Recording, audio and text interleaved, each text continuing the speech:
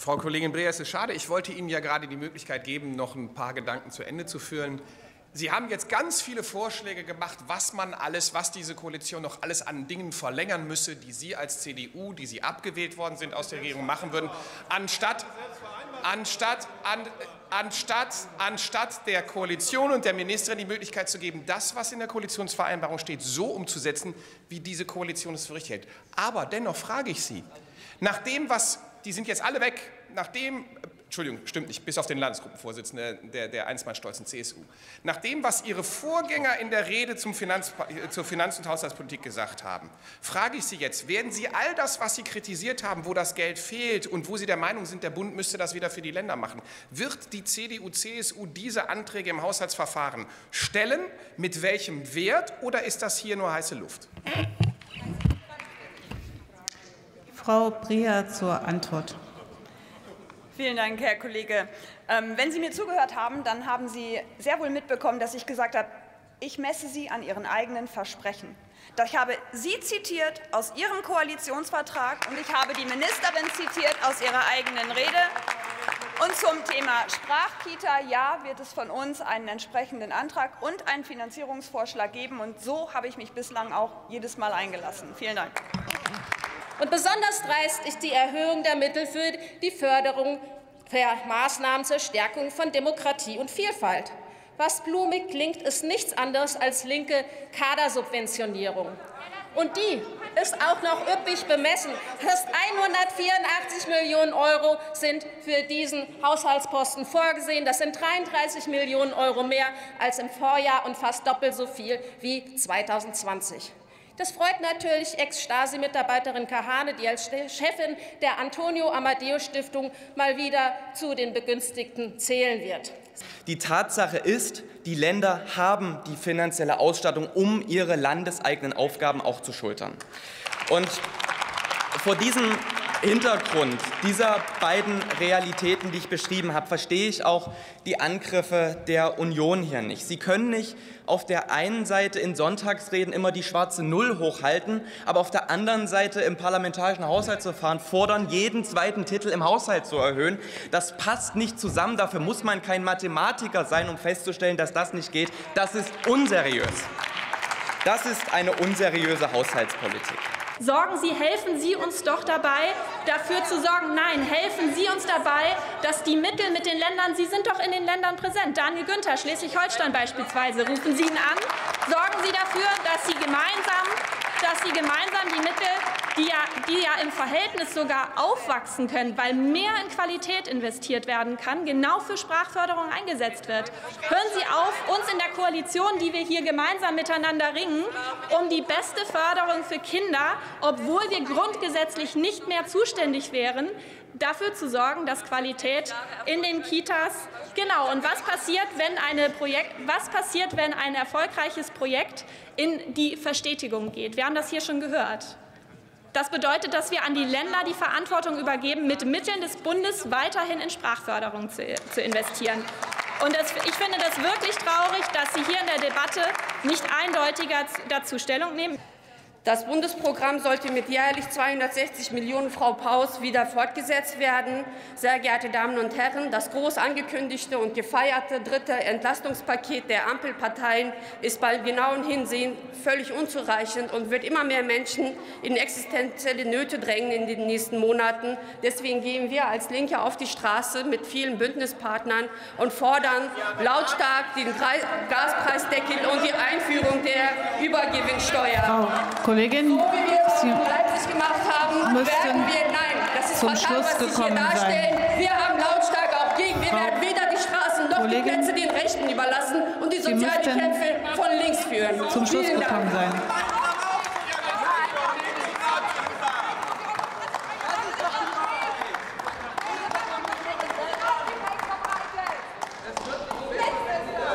Und daher ist es gut, dass beim Bürgergeld jetzt eine Einigung in Sicht ist. Und doch muss ich in Richtung der Union sagen, dass sie mit ihrer Kampagne gegen das Bürgergeld wirklich ein bedenkliches Menschenbild offenbart haben. Immer wieder haben sie mit ihren Äußerungen Betroffene alle in einen Sack gepackt und dann das Label zu faul zum Arbeiten draufgedrückt, ohne die Hintergründe, die Situation der Menschen wirklich zu erkennen. Das ist eine Politik der sozialen Kälte, liebe Kolleginnen und Kollegen. Schließlich kommt Feder noch einmal zu Wort und bemerkt, dass sie oft nicht akzeptiert wird, weil sie ja ein Fuchs ist. Manche von Ihnen werden jetzt an dieser Stelle sagen, ähm, dass jemand, der sich für Napoleon oder ein Fuchs hält, vielleicht besser in einer geschlossenen Anstalt aufgehoben wäre. Eins ist aber klar, was hier vor unseren Augen passiert, das ist gewollt. Das ist die bewusste Zerstörung aller gesellschaftlichen Normen und Wertvorstellungen. Es zielt auf die Diktatur von Minderheiten ab und dient dem sozialistischen Plan der großen Transformation. Zu mehr Toleranz hat es jedenfalls nicht geführt, sondern eher zu der Frage, ob wir es hier nicht mit einer Subkultur der Geisteskranken zu tun haben. Vielen Dank. Jetzt weiß ich, Frau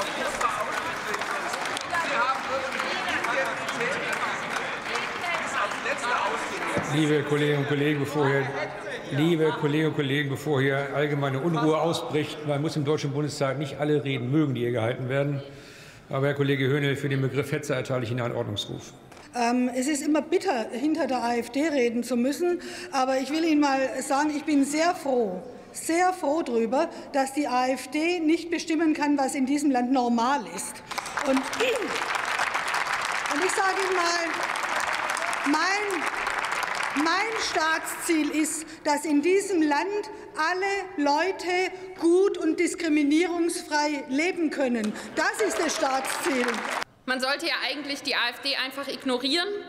Aber was Sie, Herr Erhorn, hier gemacht haben, wie Sie Transmenschen und queere Menschen verunglimpft haben, das ist der Würde dieses Hauses hier wirklich nicht würdig. Und deshalb möchte ich es einmal ganz klar sagen, wir als Ampel, und ich gehe fest davon aus, alle demokratischen Fraktionen in diesem Haus, wir stehen an der Seite der queeren Community, und Ihr Hass wird das nicht ändern.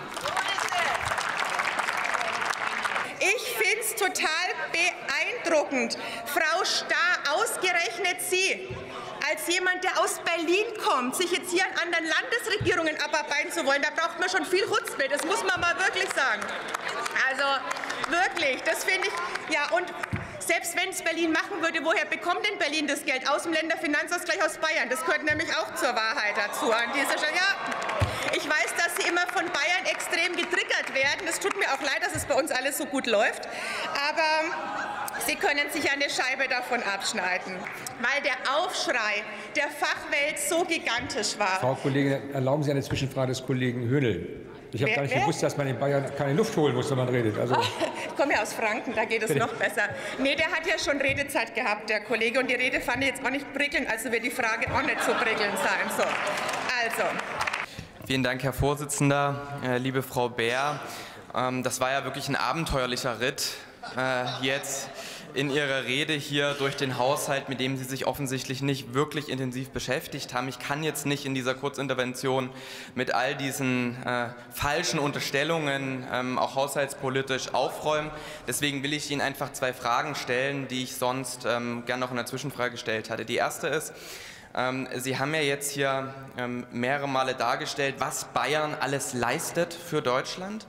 Ähm, wir haben äh, hingegen dargestellt, dass viele Länder jetzt die Weiterführung der Sprachkitas im Kita-Qualitätsgesetz entsprechend wahrnehmen, eigene Sprachförderungsprogramme auf den Weg bringen. Und meine konkrete erste Frage an Sie ist, Wann können wir denn mit dem Sprachförderprogramm von Markus Söder in Bayern rechnen? Das ist die erste Frage. Die zweite Frage ist, die zweite Frage ist, da hat meine Kollegin Nina Starr dankenswerterweise darauf hingewiesen, nämlich dass in ihrer Finanzplanung, die sie in ihrer Regierung aufgestellt haben, die Sprachkitas ja gar nicht etatisiert waren, die waren ja gar nicht drin. Und daher meine ganz konkrete Frage vor dem Hintergrund ihrer Äußerungen hier, die ja komplett gegensätzlich sind, warum eigentlich nicht? Frau Kollegin Beer, Sie können antworten. Um Ihre zweite Frage zuerst zu beantworten, wir haben es immer weitergeführt. Und das war auch nach den vielen, vielen Jahren, auch bei den Erzieherinnen vor Ort, und ich war in vielen Kindertagesstätten in den letzten Wochen und Monaten, auch Common Sense, dass klar war, dass es auch weiter finanziert werden würde. Und selbstverständlich hätten wir das auch weiter finanziert, da bin ich tausendprozentig sicher. Punkt eins. Und Punkt zwei, es ist so, es ist so, es hat sich in den letzten Jahren bewährt, es ist von der Fachwelt als, ein, als das erfolgreichste Programm überhaupt abgefeiert worden. Und deswegen wäre es selbstverständlich weitergegangen weil wir erfolgreiche Programme nicht ohne Not an die Wand fahren. Und zum Punkt 2 ist, Ehrlicherweise hat Frau Paus großartig angekündigt, dass sie sich mal mit allen Ländern ins Benehmen setzen will. Und ehrlicherweise erwarte ich von einer Bundesministerin auch insofern Führungsstärke, dass sie es auch schafft, mal die 16 Länder an einen Tisch zu bekommen. Und in unserem Land, in unserem Land wird alles. Interessiert Sie die Antwort, Frau Schaus? Anscheinend nicht. Anscheinend nicht die Arroganz der Macht. Da ist bei der Ampel aber ganz schön schnell eingezogen. Ja, so ist es.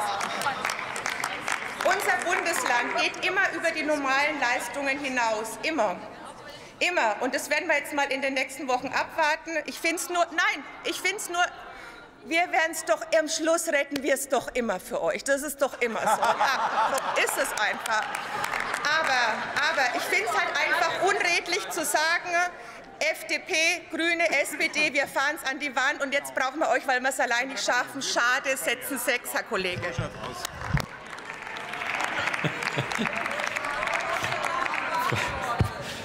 Frau Kollegin, herzlichen Dank. Ich finde das bayerische Selbstbewusstsein mal wieder bemerkenswert. Und während die Deutschen sich ans Gendern gewöhnen sollen, gewöhnen die Franzosen es sich bereits wieder ab. Bildungsminister Blanchet verbot das Gendern an Schulen und in Ministerien. Grund, es behindert das Erlernen der Muttersprache.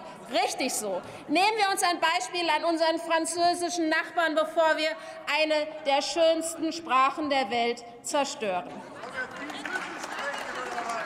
Frau Kollegin, darf ich Sie ganz klar unterbrechen, insbesondere die Kolleginnen und Kollegen aus den Freien von Bündnis 90 Die Grünen. Es macht ja Sinn, gelegentlich seinem Unmut Ausdruck zu geben, aber es macht keinen Sinn, Sammelzwischenrufe zu starten. Ich bitte darum, auch wenn es Ihnen vielleicht schwerfällt, Nicht mehr Sie wollen gendern. Regen auch wenn es Ihnen ab. vielleicht schwerfällt, doch das in Ruhe über sich ergehen zu lassen, denn Sie haben Gelegenheit, selbst darauf noch zu antworten. Frau Kollegin Hader-Kühnel, Sie haben das Wort.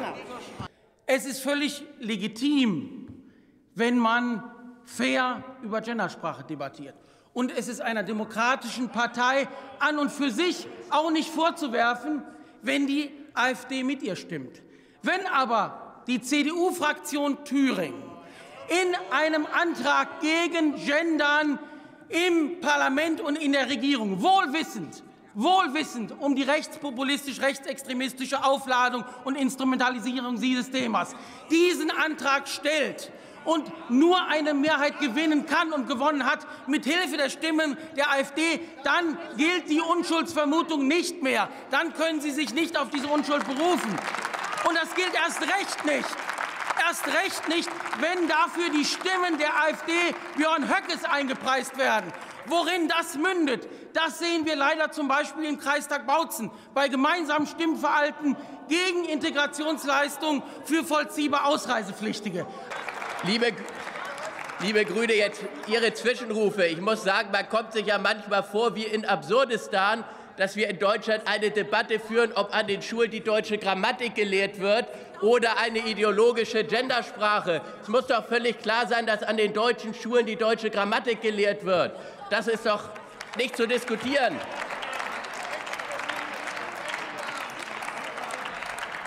Und jetzt haben wir eben von den Sozialdemokraten hier bei der Debatte gehört, Sprache verändert sich. Es wird der Eindruck erweckt, die Frauen und ganz viele im Land, die wollen Gendersprache sprechen. Kaum einer kann es mehr erwarten, immer mehr zu gendern. Und schauen Sie sich doch mal repräsentative Umfragen an. Es ist doch nicht so, dass immer mehr gendern wollen, sondern die Ablehnung der ideologischen Gendersprache, die steigt und steigt und steigt. Mittlerweile sind laut repräsentativen Umfragen 80 Prozent der deutschen Bevölkerung gegen die Gendersprache. Insofern kann man eines ganz klar sagen. Sie repräsentieren hier eine Minderheit Und wir als Union repräsentieren die Mehrheit. Wir sagen ganz klar, keine Gendersprache in öffentlichen Einrichtungen. Niemand, wirklich niemand schreibt anderen Menschen vor, wie sie zu sprechen oder zu kommunizieren haben. Obwohl, das stimmt nicht ganz, denn Sie von der AfD und jetzt auch einige Kolleginnen bzw. Kollegen von der Union fordern ja regelmäßig Sprachverbote. Und eigentlich geht es ja gar nicht um unsere Sprache, sondern darum, dass Sie die Entwicklung hin zu einer gleichberechtigteren Gesellschaft ins Lächerliche ziehen wollen. Die von Ihnen immer wieder angeheizte Debatte ist doch nur symptomatisch für Ihre Angst vor Gleichberechtigung. Es ist eine Scheindebatte. Und trotzdem möchte ich noch mal einmal drei Punkte sehr deutlich machen. Das generische Maskulinum zu verwenden, ist auch Gendern. Gendern heißt nicht nur, wir verwenden das Binnen-I, den Unterstrich oder das Gendersternchen, sondern wenn wir in der männlichen Form sprechen, dann gendern wir auch. Sie sprechen damit allerdings nur Männer direkt an und damit auch nur die Hälfte der Gesellschaft. Und das ist problematisch, denn es ist ausschließend, wenn nur bestimmte Menschen, in diesem Fall Männer, angesprochen werden.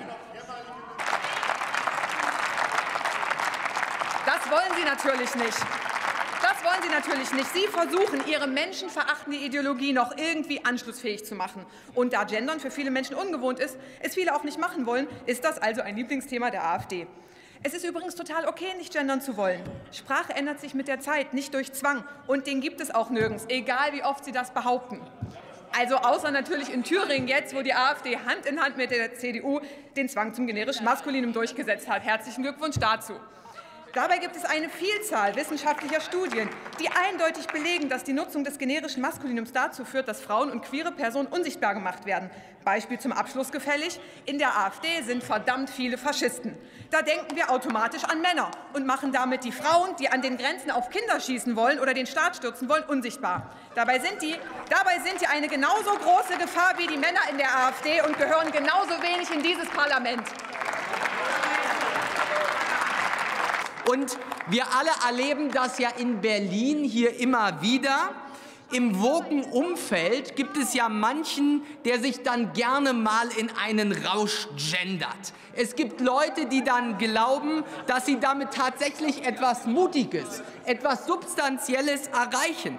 Aber ich sage Ihnen eins, mit diesem Sprachaktivismus, mit Auswüchsen wie Steuerinnenzahlern, mit Auswüchsen wie Gästinnen, damit leisten Sie wieder, weder einen Beitrag zur Geschlechtergerechtigkeit, noch bringen Sie irgendetwas Konkretes voran, liebe Kolleginnen und Kollegen. Und man muss sagen, mehr Forscherinnen, mehr Ingenieurinnen, die schafft man nicht durch Gender-Hicks und durch Schluck auf Gaga, sondern nur durch gute Forschungs- und Bildungspolitik, liebe Kolleginnen und Kollegen. Herr Kollege, würden Sie eine Zwischenfrage zulassen? Nee, Feierabend.